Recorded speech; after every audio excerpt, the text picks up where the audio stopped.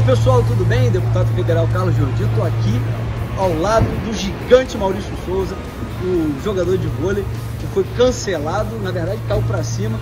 E vim aqui falar com ele, achei que ele era maior, mas não é tão gigante assim não. Vai estar tá conosco. Ah não, é, vamos parar de.